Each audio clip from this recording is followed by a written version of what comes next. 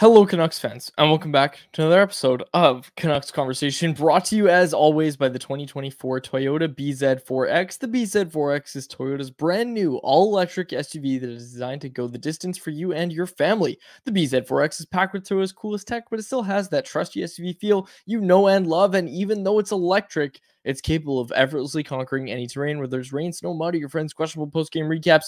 The BZ4X will get you through it all. My name is Dave Quadrelli. That is Harman Dayal. Folks, we said yesterday, geez, what's today's show going to be about? We might not know a playoff opponent. We're just going to be previewing this game against the Winnipeg Jets.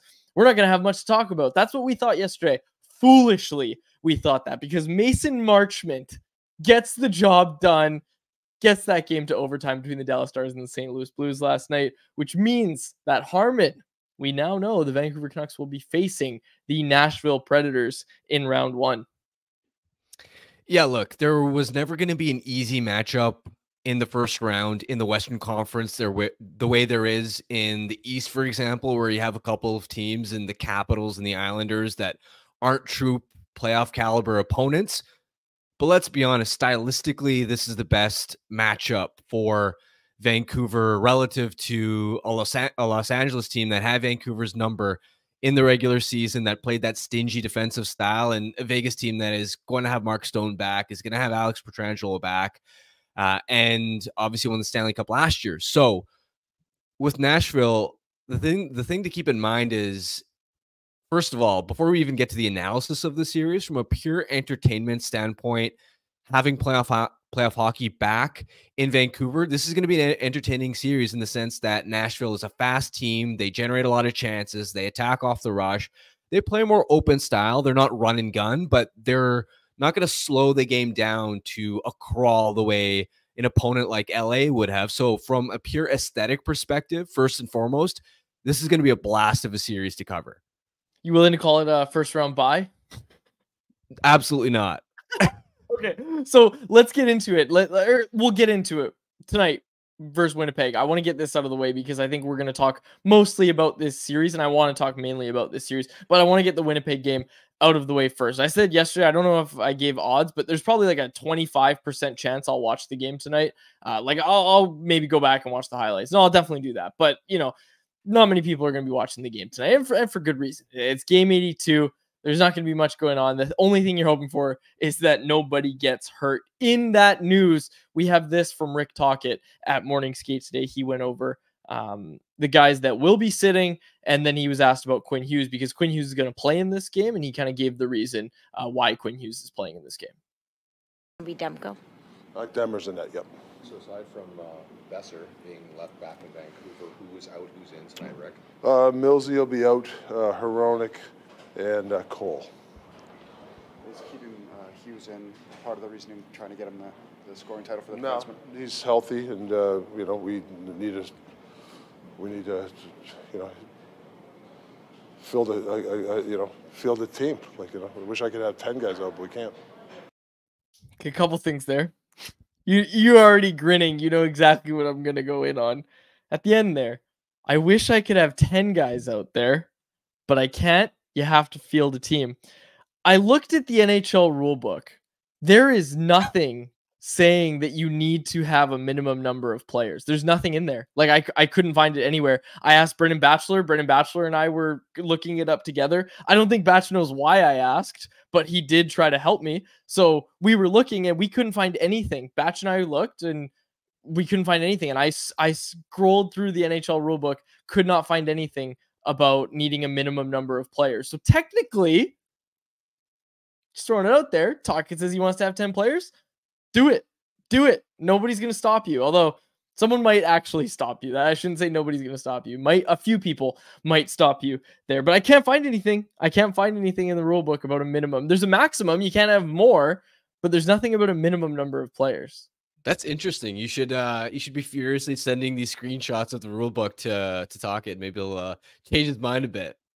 Well, I don't want him to change his mind because harm tomorrow I've got a reservation with the old co-host of this show at a Ah. certain steakhouse for a bet that we made before the season started that Quinn Hughes I said he would score 20 goals. Quinn Hughes is at 17. if he if if if Quinn Hughes, you know what? I should take it all back about not watching the show or not watching the game. I'm going to because I need to will on the Quinn Hughes hat trick. You know, you don't cheer as media. You don't cheer. You want to see good hockey, all that, all that stuff. I'm cheering. I'm cheering tonight. I want three goals from Quinn Hughes. I'll just be honest about it. I need three goals from Quinn Hughes tonight. That's what I'm hoping for tonight. Just prep your wallet, buddy. It's just prep your wallet. That's all I'm gonna say. Be ready. I wish I could tell you that like the vibes were saying, yeah, it's a Hattie from Quinn tonight. No, they're not. Like unless Quinn also has has a little side side bet with someone where he's like, yeah, if I score 20, you have to take me to dinner So. I don't know. Then that's the only way Quinn Quinn Hughes would score a hat trick tonight because man, you're gonna need you're gonna need at least an, an empty netter. Yes. Oh, that's that's true. Absolutely. But that's the thing is, like, think of his goals, right? Now we're gonna analyze a little bit. a lot of Quinn Hughes' goals come from just like, okay, I need to take this into my own hands. Nothing's going for us. We need a goal so badly. Is Quinn Hughes gonna like walk the line with a bunch of poise and like really push hard to the net if the Canucks are down by two with like six minutes to go? I'm not saying he's not gonna try, but I'm gonna say I'm just, all I'm saying is it's very unlikely that Quinn Hughes scores tonight. Yeah, like I said, get your uh, wallet ready, bud. It's ready. It's ready. Okay. Uh, so we went over the guys who are sitting: uh, JT Miller, Filip Hronek, Ian Cole. It is the day that ends in Y, so Ian Cole is going to be sitting. Any surprise on Philip Hronek, uh, JT Miller? I feel like we kind of knew with Brock Boeser. Like I, I said it on yesterday's show, he's the guy that stayed home. I guessed that he would be the guy because he's been getting maintenance for the past couple of months or weeks, I should say. But any surprise there? Miller, Hronek sitting? Uh, not surprised, but it is worth noting that Miller is on 799 career regular season games, which means this, had he suited up, would have been 800. Instead, 800 for him will be the first game of uh, of next season. So, so that's worth uh, keeping in mind as far as milestones go. But outside of that, I mean, I'm not too surprised. These are guys that have played uh, important roles for you, big heavy minutes, and in Cole's case especially, he's he's the oldest guy on the roster and um, has looked like a player, especially in the second half, that could benefit from some uh, load management. Okay, and we're going to talk about what that load management might accomplish and what it all means because we're going to talk about the first round series with the Predators and the Canucks. But before we do that, is there anything you else you want to say about the game? No. Okay. awesome. okay, then let's get to our light the lamp contest, which is still happening tonight, folks. Uh, brought to you by our friends at Four Winds Brewing.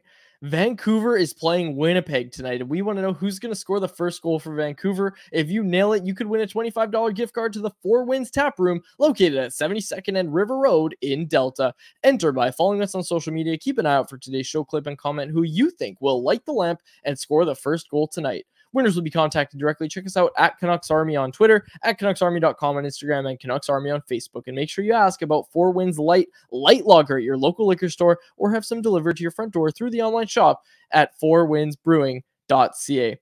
Harm, I'm going to say Quinn Hughes. I'm going to help you out here. I'm, I'm going to push for Quinn too. I love it. Last time okay, I so did people... that, he scored. First. That's true. That's right. That's absolutely right. Okay, I like it, man. The vibes. Grady, uh, can we say that you're you're can we put you down for Quinn Hughes too? Maybe he'll score three tonight because we've got Grady down there as well as our third. Okay. People are asking questions about the uh background harm because this was really good. Where is it? Yeah. This is from Corey Anderson, obviously regular listener of the show. This must hurt Quads a lot. He won't even decorate his room, let alone spend big bucks on a dinner. Look, people are asking where the Luongo growth chart is. I said on a past episode, the NHL legal department did not like that. They don't like logos on on the shows, so we're yeah, it's gone. It's gone. That's what happened. It's gone. Um, but anyways, there was a few other things asking me to decorate the room better. Uh, Nars asking if I was shrinking, and that's why I got rid of the growth chart because I didn't want to get exposed. Nope, that wasn't it either. Uh, but Viper's Whip. I don't drink alcohol, so I don't care who scores first. You can still win. They got they got good stuff over there. They got good stuff at the tap. You can always give that to a buddy. Come on now. Yeah, I know. Come on, Viper's Whip. Be, yeah, make make a guess here. Come on, let's go. yeah, Narav. A Mariners jersey and not a Canucks jersey is crazy for a Canucks show host. The Mariners and the MLB haven't sent us any angry letters. That's all I'm going to say. and I'm wearing my Mariners hat. So I'm just leaving it at that. Okay. Um, yeah, the, the news, we'll get to it later, but obviously the NHL approves the relocation to Utah. We'll get to it. That's an anyone else question. So, folks, get your anyone else's in early. But man, this is going We also got be... a Podkolzin extension to talk about in uh, in anyone else.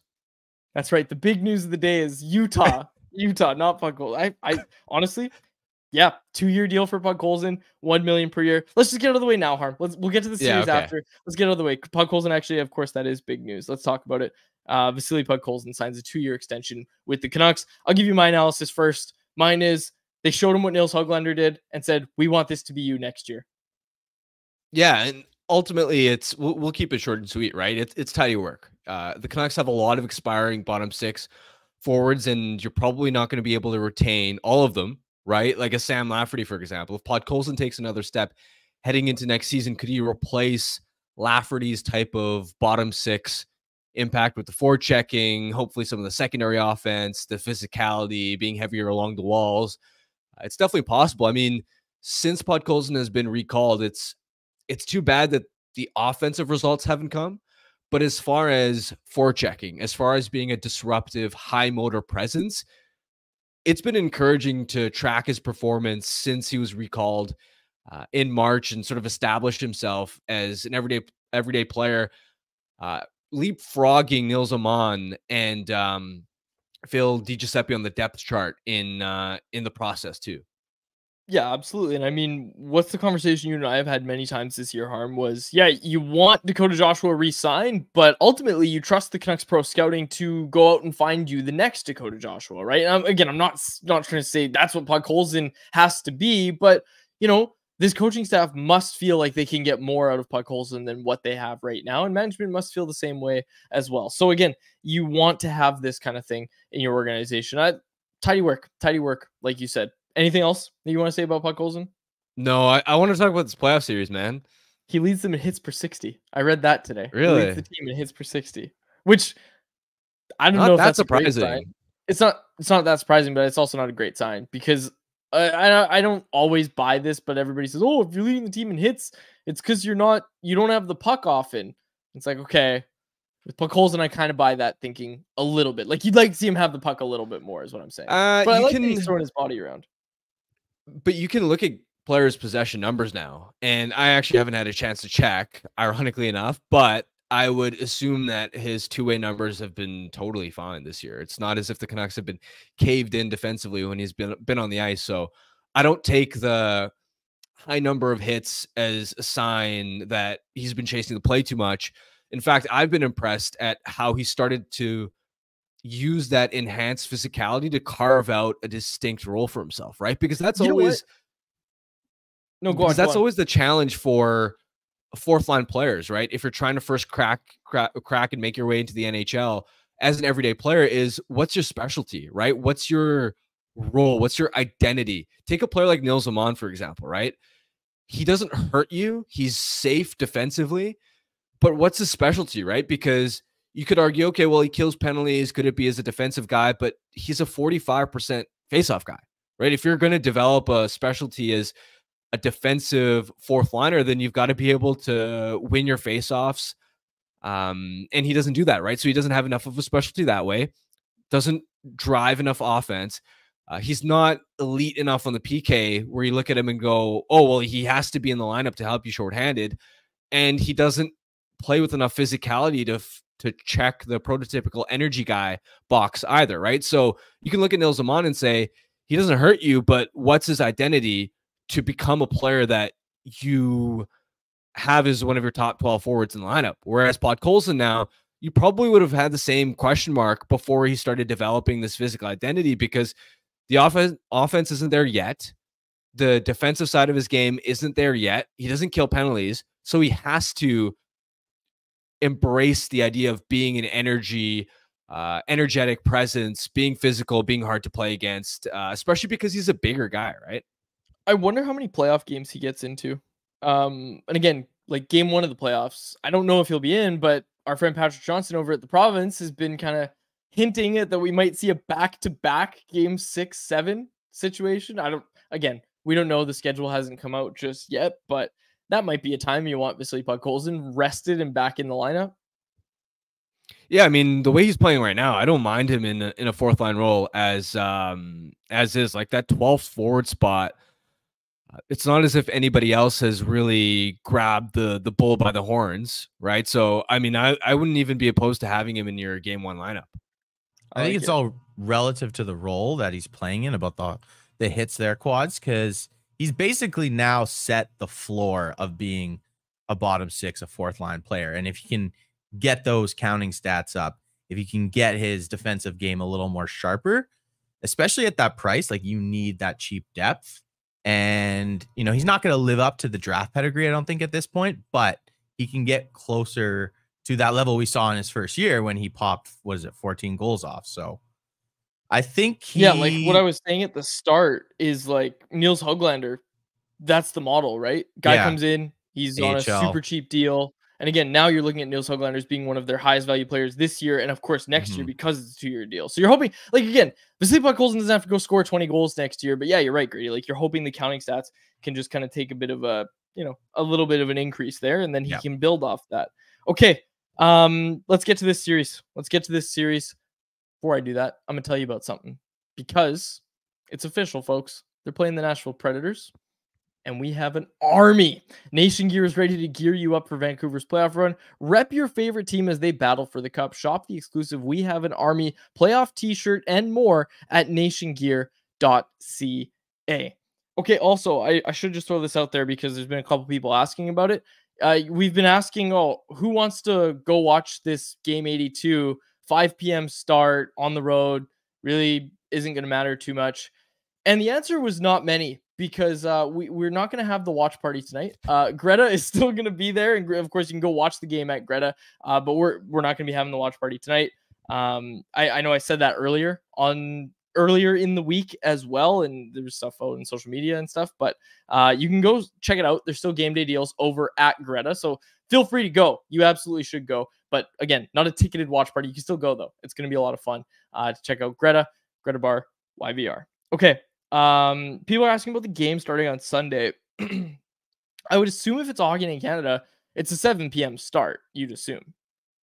I'd assume that, but I mean, we also don't have official word yet. I believe. John Shannon tweeted today that it's going to be a double header for the Canadian teams with Winnipeg in the earlier game. So you would assume that means a seven o'clock start for Van. Although we have seen playoff start times in the past start earlier, but that's usually in the later rounds when there's not many games and you have, you know, Eastern or Central time zones so they can get them in primer viewing time, right? Okay, we've got uh, a few things about this Nashville series. We're gonna have to get to some of them um, in anyone else. Yeah, we're gonna have to get some of them in anyone else. But harm, let's preview this series. Let's preview this series between the Canucks and the Nashville Predators. Some are calling it a first round buy, but you're not buying that yourself, are you? I'm not right. You look at since the All Star break, the Predators have the second best power play in the NHL. And we know that sometimes when there are upsets in first round matchups, a lot of it is driven by special teams, right? So you have a Nashville team that's been red hot on the power play, a Vancouver team that has been up and down on the power play since the All Star break, has found some better form in April, but had some lengthy stretches where they couldn't get it done on the man advantage. That's something to keep an eye on. And just in general, since the All Star break, Nashville is the second highest scoring team in the NHL.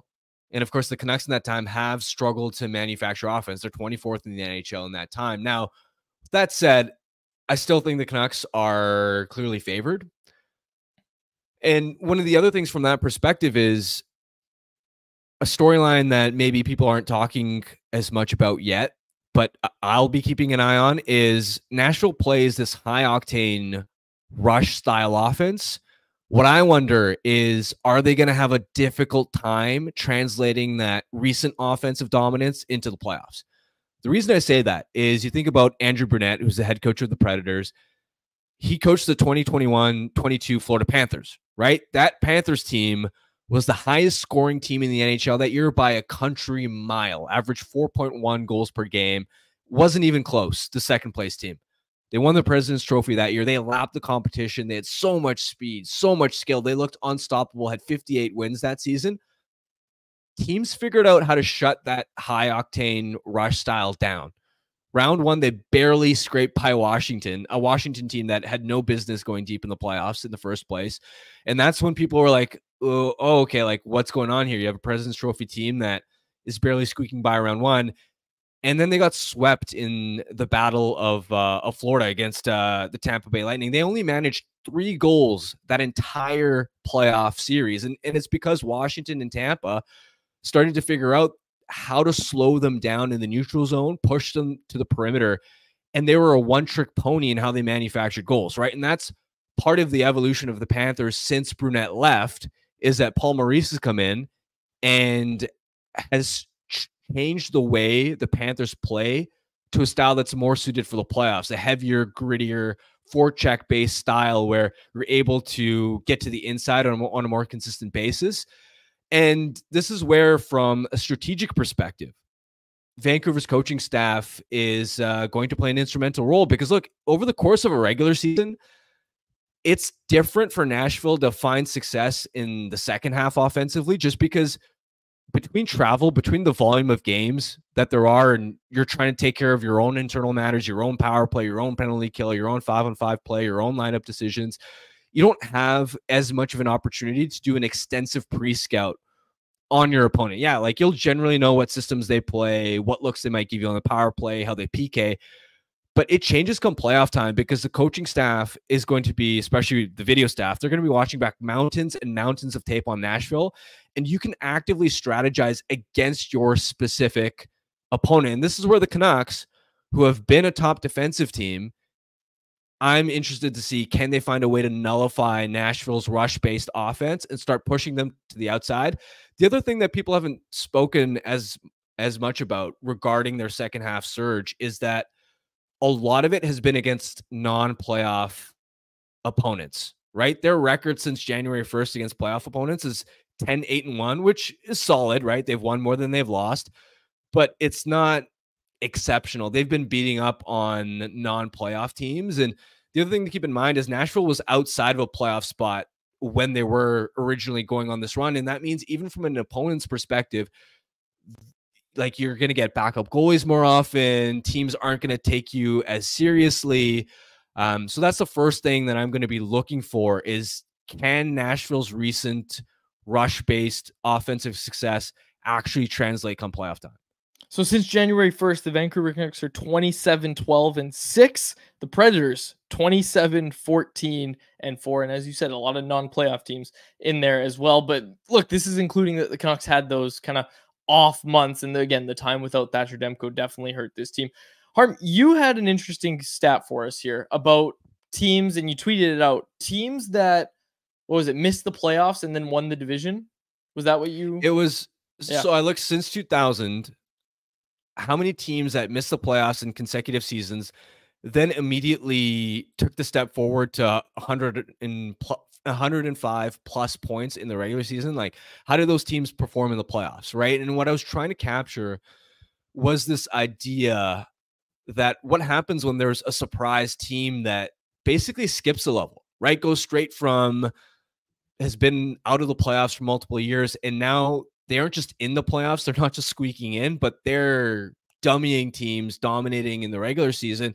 What happens in the playoffs? Because uh, sometimes there's a narrative and I do think that some teams around the NHL, some executives can look at a team like Vancouver and say, okay, given their lack of playoff experience, they haven't been here before. Like, can you really go from being a bottom feeder to immediately being a Stanley Cup contender? Or do you have to learn how to win in the playoffs? Right. And this is where it was interesting to see. It's happened 11 times.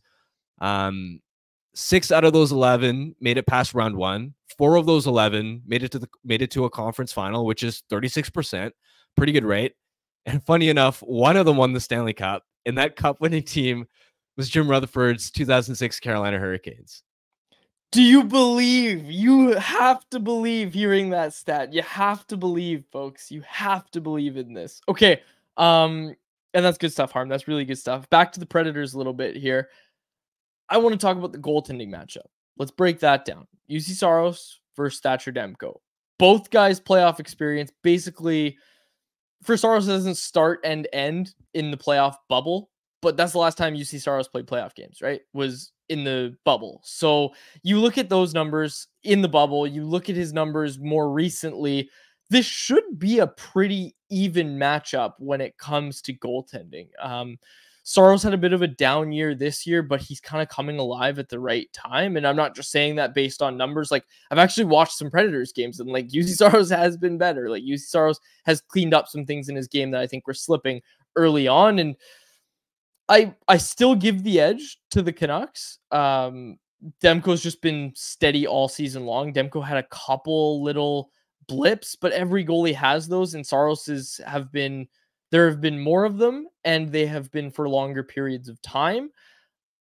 Demko also like I, I still give them the advantage, even though Demko's just coming back from an injury. I liked how he looked in that Calgary game. He's gonna play in Winnipeg tonight, and to all those people out there saying rest Demko, rest Demko. I don't know what you're talking about. Demko himself, like Demko himself, harm said that he still had a couple things he wanted to like. He wants to play in tonight's game. He wants to get the feel for the puck a little bit more. He wants to clean up some things in his game. That's what he said. He wanted to play in tonight's game, and he absolutely should be. He, you should be getting him as much as much time as you can before Sunday night's game. Uh, against the Predators, but I give the advantage to the Canucks in goal, but it's very, very close. And again, you're predicting goaltending. It can change. Like it can change on night one and then it can stay that way for the rest of the playoffs. So I am giving the advantage to the Vancouver Canucks in the goaltending department with Thatcher Demko. Like Thatcher Demko is going to be a Vezina candidate this year. Juuse Saros is not.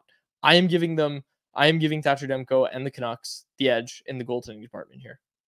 Yeah, Nashville's going to need Saros to be exceptional to is, is such a central part of why they've been successful down the stretch here because again they play I don't want to say a, a, looser style, but again they're a team that likes to uh, likes to attack, open things open things up a little bit. They're middle of the road defensively when you look at their um, chance shots against metrics at five on five.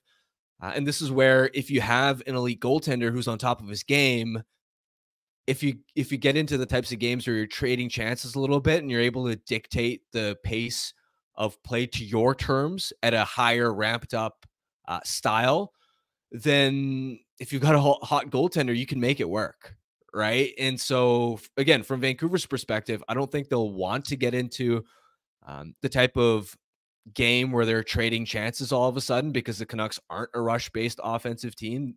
They'll ironically want to not slow the tempo of the game down because Vancouver's defensive su- success is predicated on how quick and aggressive their forecheck is, how fast they pressure the puck. Um, but they're not going to necessarily want to open it up. And yeah, from a goaltending standpoint, give the slight edge to the Canucks, but um, it's it's so interesting looking at, and this isn't necessarily relevant to Demko versus Saros because the gap isn't as substantial, but just looking at what happened in the biggest goaltending mismatches of uh, of last year's playoffs, right? Like you had Florida versus Boston, right? Vezina winner and Ullmark versus uh, Alex Lyon was Florida's game one starter. Bobrovsky wasn't even in, in net yet, and Florida upset them, right? Uh, New Jersey versus Rangers, Vanecek versus Shesterkin, Devils uh, came out and won. Brossoit versus Hellebuyck, Vegas still won. Um, there were a couple other examples. Uh, Carolina uh, beat the Islanders, even though the Islanders had Sorokin, right? So goaltending is really, really difficult to predict in the first round. The other example was Vasilevskiy versus uh, Samsonov, and yet the Leafs still won in round one. So you can have a series where there's a goaltending edge on paper, and just because it's such a small sample size, uh, the opposite can still sort of come true where the unexpected happens, but yeah, you're giving the slight edge to Vancouver for now. Okay, forward and defense group.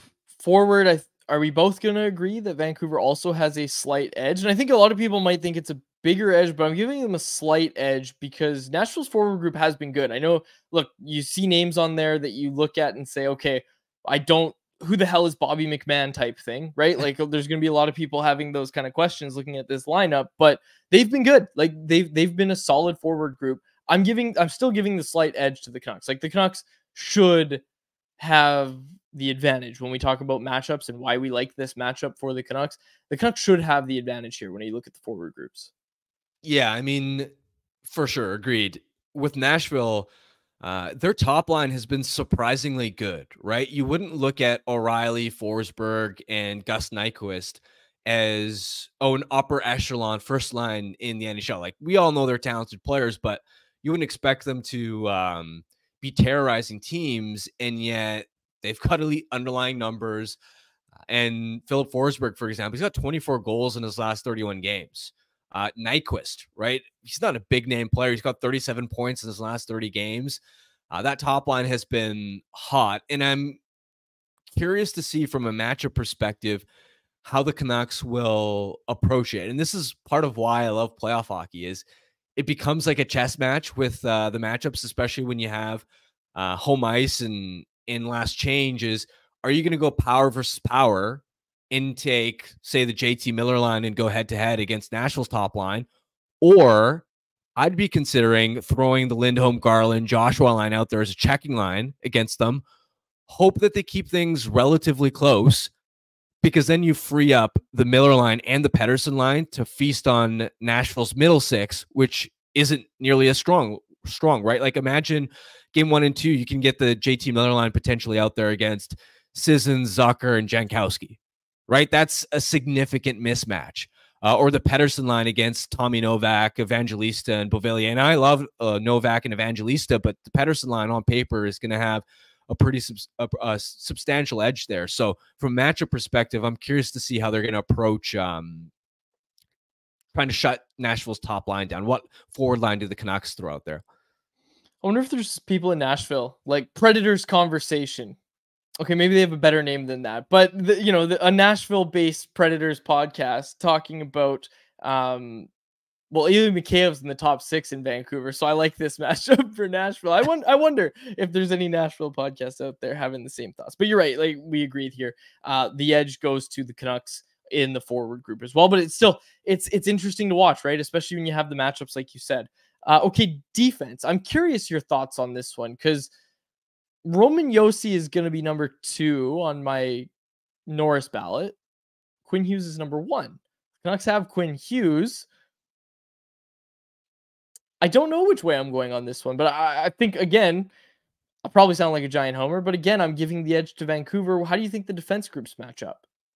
Here's how I'd break it down. So the top pair of Josi and McDonagh has been spectacular, right? Their numbers together at five on five are actually slightly better than Hughes Hronek together, right? And you think about why that might be, and it's because Hughes has been better than Josi, of course, but in the second half, the difference has basically been negligible, right? They're both playing at a superstar elite level.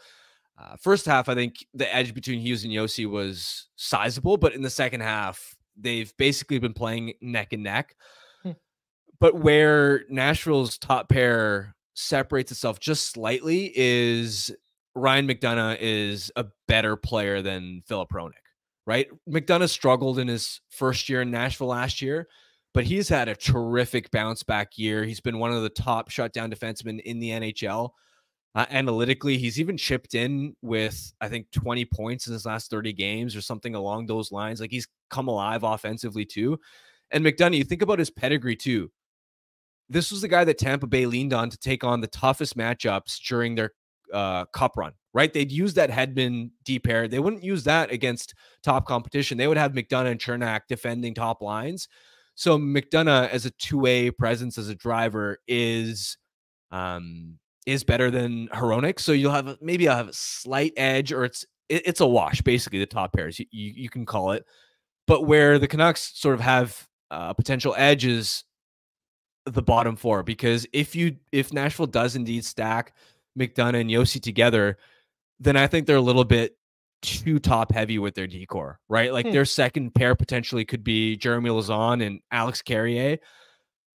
Carson Soucy is way better than Jeremy Lauzon. Like it's not close between those two in terms of the, your second, um, your second left shot defenseman. So that's where the Canucks, I think, start to separate a little, and that's why on the blue line as a whole, um, I mean, again, even on the third pair, right? Right now they've got Spencer Stastney and Luke Schenn uh, penciled in. And look, I love me some Luke Schenn, but Zadorov and Cole, I think, is um is a better defense pair there too. So uh, you're giving the edge, I think, to the Canucks blue line as well, even though the top pairs might be a wash. Some old friends, Anthony Beauvillier is slated to play on the third line for Nashville, and Luke Schenn, like you said, Luke Schenn as well. Um, that's one thing I'll say is playoff series get physical. You want to have Luke Schenn on your team. Y- you don't think Luke Schenn's gonna hold up on hitting anybody. That's for damn sure. Like I don't know. I Luke Schenn's not a dirty player. I think that's something at least Canucks fans can be happy about. Is if he lays someone out, it's not going to be like a cheap shot. He's a clean player. Yeah, and the Canucks have um the the meat and potatoes now themselves too, right? With guys like Zadorov, Soucy. I know Myers isn't always physical, but he's a massive body. Cole plays a heavier style. Uh, and, and again, from Nashville's perspective, right? They are accustomed to having time and space in the neutral zone, right? That time and space shrinks in the neutral zone. So are they going to be able to consistently get to the inside? I'm confident that their top line can because O'Reilly and Forsberg are, are veteran players, and, and and in O'Reilly's uh, in O'Reilly's case, he's a proven playoff performer, but in their middle six, like they've got some younger players. Are they going to be able to consistently box out, win net front battles um, against some of Vancouver's bigger defensemen in the bottom four there? And that's where, again, like I'm going to be interested to, interested to see the the X factor from Nashville's perspective in their middle six is going going to be Novak and uh, and Evangelista. They're they're basically stylistically very different, but in terms of impact, they're Nashville's equivalent of Joshua and Garland in terms of having that chemistry, um, elite play driving numbers. Like they've controlled nearly 60% of expected goals together. Novak has 22 points in his last 31 games. And, and keep in mind, last year he quietly had 43 points in 51 games very crafty, creates a lot of zone entries. He's got a sharp shot, pretty good offensive vision too. And Evangelista's a, a rookie. Um, how are they going to fare in, in playoff hockey, right? Um, because those are like outside of Nashville's top line, those are two of their most dangerous uh, players in the middle of their lineup. And if Vancouver can find a way to slow those guys down, then all of a sudden I think Nashville could be struggling for secondary scoring from their forwards. Okay, I'm just looking this up. Yeah, I was looking it up. Because JT Miller's last time playing non bubble playoff hockey was with the Tampa Bay Lightning when they got swept by the Columbus Blue Jackets. Now, I bring this up, Harm, because someone out there is for sure going to bring up that the Canucks have a lack of actual playoff experience. Like Nobody, nobody on this team has ever played a playoff game at Rogers Arena. None. Zero. Zero have played a game at Rogers Arena during the playoffs. JT Miller is one of them who has played in the playoffs, and JT Miller is one of them who, aside from just being a leader on this team, like he knows what it's like to fail in the playoffs. And I just in the conversations that you know we've we've heard and uh, quotes we've seen from JT Miller, it really seems like he learned a lot from that series. And while the Canucks don't have a ton of, you know, we've been there, we've done that when it comes to playoffs in their lineup, they've got JT Miller there, they've got Ian Cole there. And one thing I want to point to is the coaching staff. Like the coaching staff has been there. The coaching staff has been in the playoffs. And I'm just looking at it and saying, okay, you're you're gonna want more experience, obviously. Like it'd be nice if guys were in the playoffs year after year, but I'm not looking at this as some great weakness for this team. Like I feel like this team knows what they're getting themselves into here. Yeah, especially because you might be a little bit more worried about it if they were going up against Vegas, right? Maybe if they were going up against LA, even just because they play more of a playoff style where there where there isn't a lot of space defensively.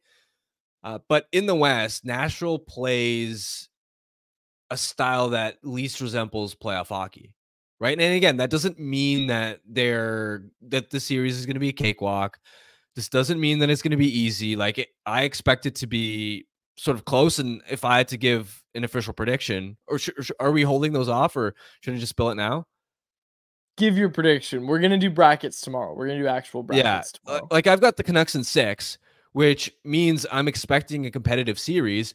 But as far as the idea of building some experience in round one, like this is again why Nashville it like was the more favorable opponent is like I, I again I think your lack of experience may have been more of a, a talking point if it's against LA or, or Vegas, one of those teams that actually resembles this tight checking, uh, defending the slot exceptionally well type of uh, team.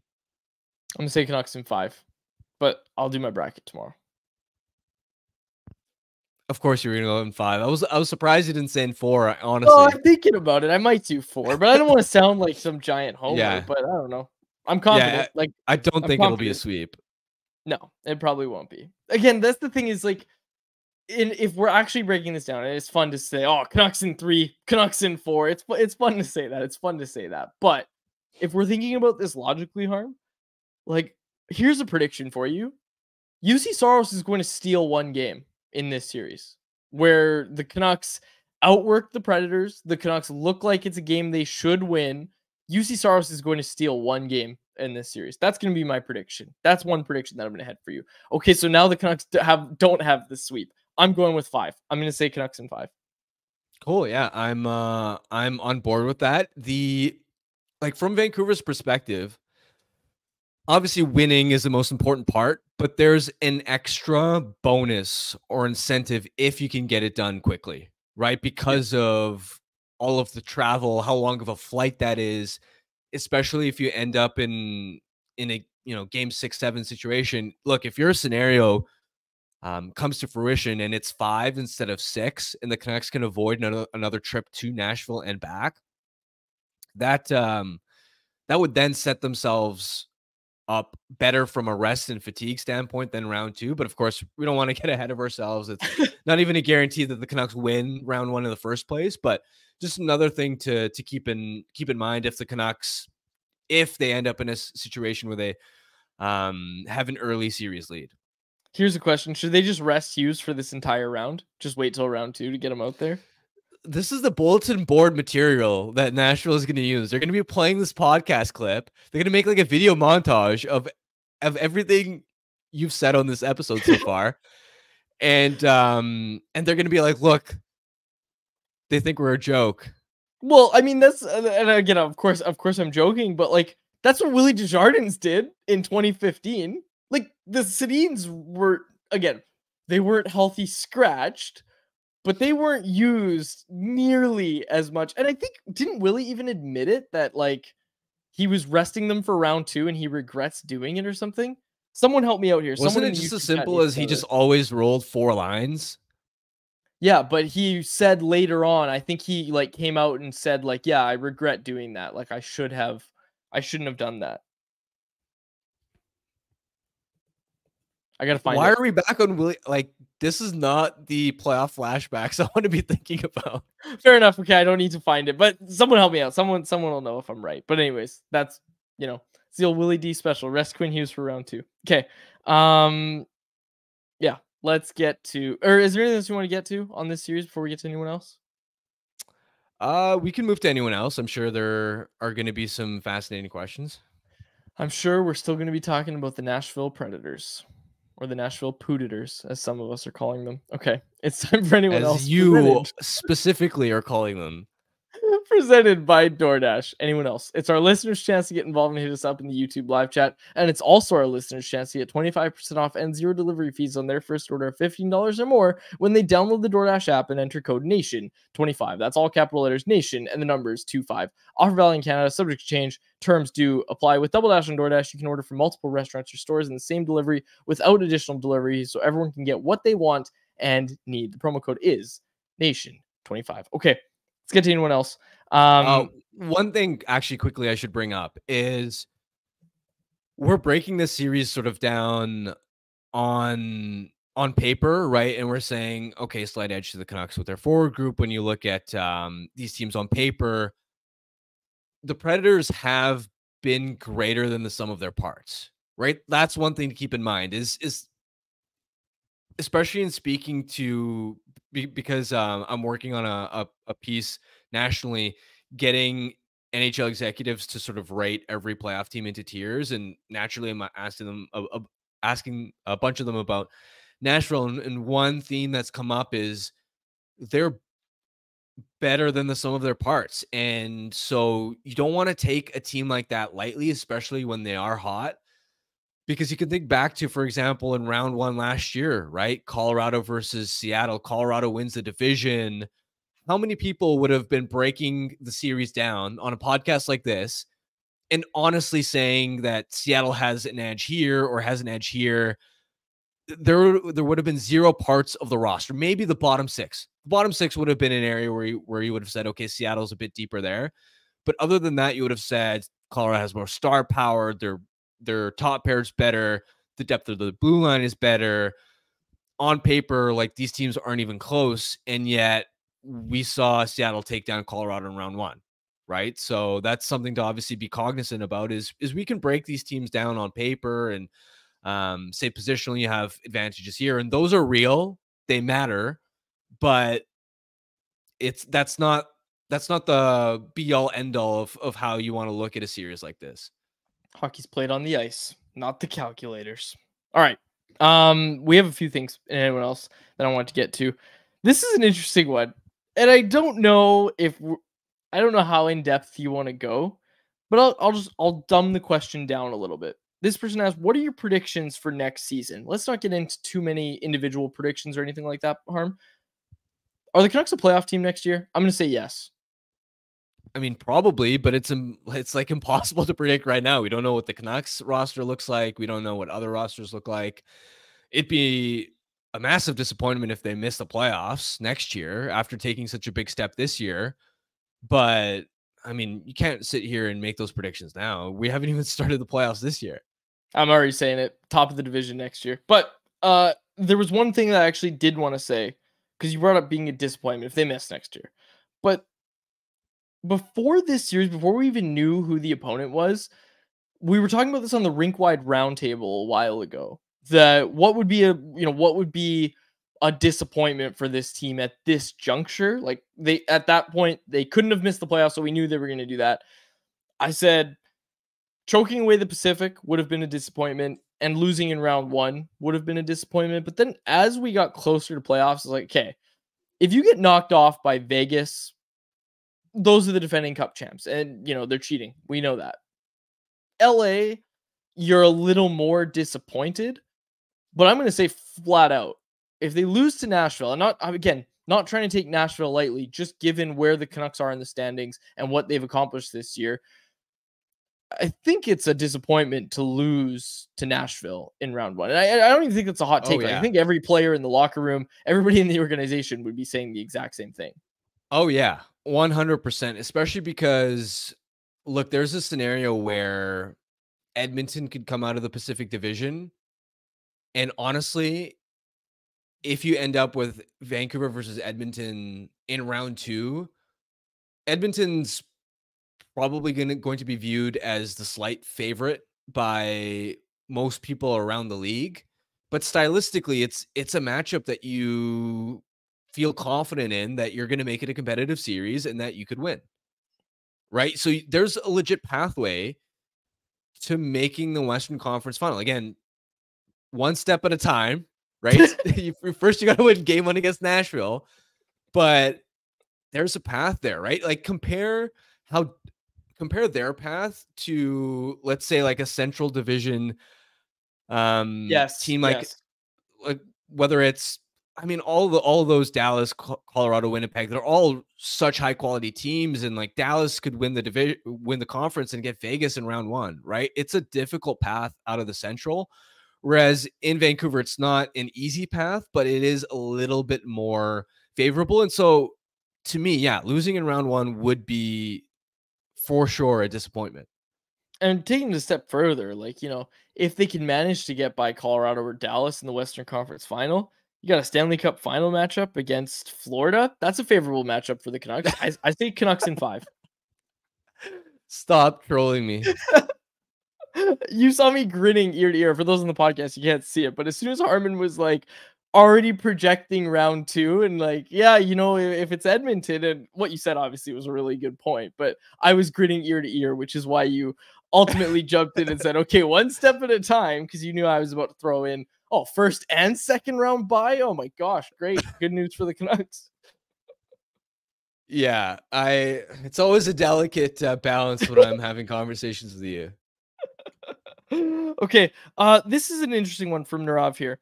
Uh, okay, who's the most important player you think the Canucks could lose to injury and still expect to win the first round? Most important, let's say out of the top three defensemen and top six forwards. I'm gonna say most important player you think they could lose and still expect to win the first round. Like, I don't know if you can, if you, I think you say Carson Soucy or Filip Hronek. And again, you're obviously we're not wishing anybody harm, but they have played without Carson Soucy. It wasn't pretty, and Carson Soucy's really underrated. I would say Filip Hronek. I, I feel like there's something bad luck, bad vibes for answering It's a question listener like question. It's a listener uh, question. You don't have okay, to answer it. You don't have to answer it. It's fine. Yeah, it's fine. no, I bad it. vibes, bad vibes. Yeah, bad vibes. It's bad vibes. Okay. People are uh, wanting to talk more playoff flashbacks. If we're gonna talk flashbacks, let's talk Kesler in 2011. Ryan Kesler was on Donnie and Dhali today. Said he still keeps up with the Canucks. Said he still feels like a Canuck. Harm, what do you remember of that series? And again, it's always going to be known as the Kesler series. it, was electric, right? And Kesler was my favorite player growing up. I um I had a Kesler jersey growing up, and in fact, I I was so used to seeing like the blue home jerseys that I specifically wanted the away white ones. Um, and so seeing Kesler in those obviously road uniforms lighting the Predators up uh, was unbelievable. And I mean, the inside outside move on one of those goals is still burned into my memory. I mean, he just put them on on his back, and it's funny. Murph had um had a tweet today, and he he as, as far as a flashback, he pointed out that Joel Ward had four goals and four assists Yep. in that series too, and it just reminded me about how quietly dominant he was and how he emerged as like a newborn hero. Uh, and yeah, man, that uh, that playoff run was uh, was something else. Knuckhead. Remember, there's no such thing as jinxing. Say whatever you want. Just know that you can get memed for it later. And of course, that's what we're watching out for. I don't believe in jinxes. I, I don't believe. Yeah, well, I don't want to get memed, right? Like, imagine saying, "Oh, I think they can. If this guy gets hurt, they'll they'll still win." And I don't know, bad vibes, bad meme potential. Don't like it. Nar, I expect Garland to come to training camp significantly taller next year. No, in my experience, doesn't happen the way you want it to. Doesn't happen. You can do all the stretches you you can find. Not gonna help. Not gonna Does help. your mom okay. still tell you that uh, you're you're a growing boy? I, I I mean I still outgrow some clothes every once in a while, so I don't you tell me harm. You tell me. I'm just growing, I'm growing the wrong way now. I'm growing the wrong way. okay. Um sorry, I wanted to find this. I gotta scroll up for it. Excuse me. Okay, maybe it's gone. Maybe I just missed it. Oh no, here we go. Harm, we'll close out with two more. This one from Karn. Is it easier to defend rush based offense versus more cycle focused teams, or is it just two different beasts? It's a good question. I think it comes down to this is are you a one trick pony? Right? Because some teams they attack off the rush, but they can also create off the cycle, they can create off the forecheck. In zone, they're a team that passes the puck really well. They have players that can get to the greasy areas. Like you want an offense that's versatile, and versatile offenses are the most difficult, I think, to um, to defend against because if you shut down one part of how they generate offense, they still find another way, right? And that's what a team like Tampa could do, for example, when they won their cups was they're a team that Nikita Kucherov can make his fancy east-west passes off the rush and and those feel unguardable, but that was also a team that could create off uh off the forecheck. Now, if it's just one of those in, in the sense of if you do have a one trick pony, which one trick pony is um easier to maybe stop it's um it's probably a rush based um you know offensive team uh give the slight edge to unless of course they have a mega superstar like uh like a MacKinnon, um, then it's a little bit different. But you know, Nashville doesn't have a a, a player like that. And, and to be clear, I'm not guaranteeing that Nashville is a one trick pony in, in the way that they create off the rush. Like maybe they will adapt this time, right? Maybe Brunette has learned from his past playoff failure in Florida and they have other ways of generating offense. I mean, uh, you look at their top line, for example, and I, I look at O'Reilly as a heavier player down low, and I'm like, okay, that's a line that could create off the cycle for sure. That's a line that can adapt. But it then comes down to their middle six is you know, especially their young guys like Tommy Novak, Evangelista, guys that have been so instrumental for their second half success. Um, how are they going to adjust if the Canucks do an effective job of taking their time and space away off uh, off the rush? Okay, I saw this, and I'm sure you saw it as well, Harm. A Canucks fan posted that they were trying to buy a ticket for the game, but it was it said Ticketmaster told them it was reserved for Nashville Predators area fans or whatever.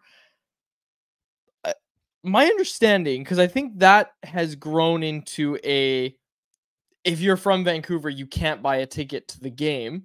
And I mean, I know I should have done this this myself and just tried to go see if I can find it on Ticketmaster, but like my understanding is it's just a kind of sectioned off cheering section, right? Like it's not like a you can't buy a ticket if you're from Vancouver. Like that's not how I understand it. I don't know. I saw people tweeting about it, but I'm like I haven't gone on Ticketmaster myself and poked around. Okay, well I'm gonna do that. The question from Karn, uh, or excuse me, from Conversation is the NHL should ban teams from trying to keep opposing fans out of their stadiums. If you're such a poverty franchise that that weak of a fan base that you need to worry about it, relocate to Quebec City. Yeah, but look, if I was Buffalo, if Buffalo ever makes the playoffs, right, and you get the Toronto Maple Leafs in round one, especially given how expensive ticket prices are in, in Toronto, like I don't care if I'm if I'm the owner of the Sabres, I'm saying, yeah, I don't want Toronto fans invading our building and having go Leafs go chance. Like home ice matters. So like I get where the sentiment comes from, but I mean in specific scenarios, I guess if it's a rivalry um, or a situation where it's a fan base as large as the Leafs, and you know that they're coming going to be coming down in um, in massive hordes, then I can at least understand the the rationale behind saying, "Hey, we don't want um, out of market fans dominating our uh, our building here." Okay, I looked it up. I'm pretty sure it's just a restricted sales section. Like it's just a section of fans. So like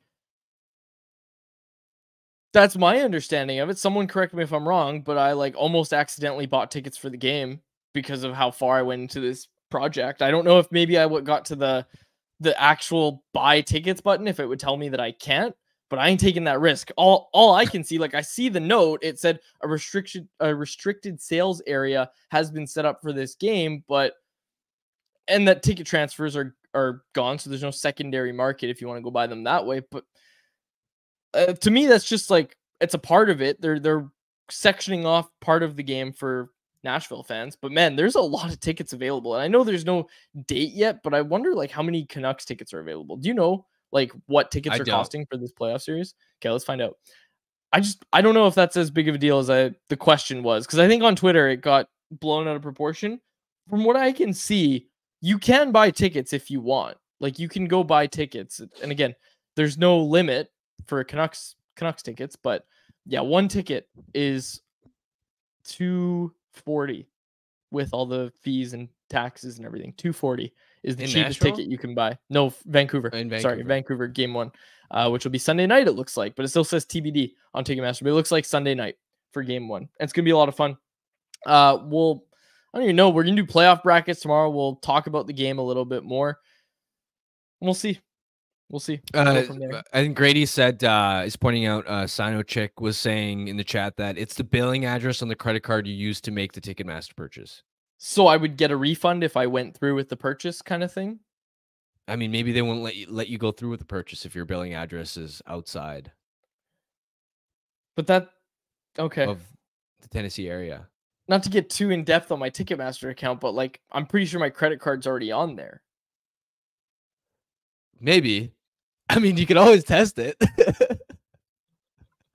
Nope, not doing that. There's no resale. I'd have to I'd have to commit and fly to Nashville. Speaking of which, um yeah, you're gonna be flying to Nashville and it's gonna be a good time. And we're gonna do some shows. We're gonna have to figure out how we're gonna do the shows with you on the road, but we'll get it done. We'll get it done and it'll be a good time. But we'll close it out there. Yeah, you know, Karen Versation saying it, it won't let you buy it. Okay. Saying it won't let me buy it. I don't know. I don't know if that's true, but from what I can see, it just says restricted sales area. Like part of the seats are set aside. I don't know. We'll figure it out. Someone figure it out. Someone try to buy tickets properly. But anyways, we'll close it out there. For my co-host Harman Dayal, my name is David Quadrelli. Thank you so much for listening to an episode of the Canucks Conversation. Canucks Conversation with Harman and Quads brought to you by the Toyota BZ4X. The BZ4X's fresh look is just an added bonus to its range since you can drive up to 406 kilometers on a single charge. That's enough to get you from Kitsilano to Whistler or Kamloops to Kelowna and back and still be home in time for the game. Now that's what we'd call electric. The best part, by choosing electric, you can get up to $11,000 in rebates and incentives. The BZ4X are in stock and selling quickly, so make sure to visit shoptoyota.ca or your local Pacific Toyota dealer to get your hands on one. Canucks Conversation is live Monday through Friday, every weekday at 2 p.m. over on the Canucks Army YouTube channel. Make sure you like, subscribe, and interact in the YouTube live chat every day with us, folks.